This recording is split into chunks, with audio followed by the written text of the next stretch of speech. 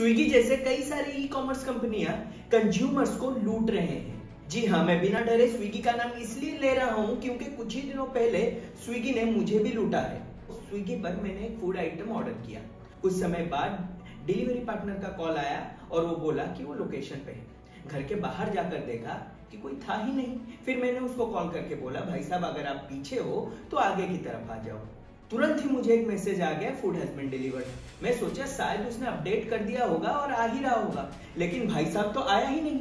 जब मैंने customer care को कॉल किया तो मुझे कहा गया कि आपका फ़ूड डिलीवर हो गया है, आपका आइडेंटिटी चेक करने के बाद। फिर मैंने मेल किया मेल का रिप्लाई आया 24 टू 48 आवर्स के इन्वेस्टिगेशन के बाद आपको रिप्लाई आ जाएगा।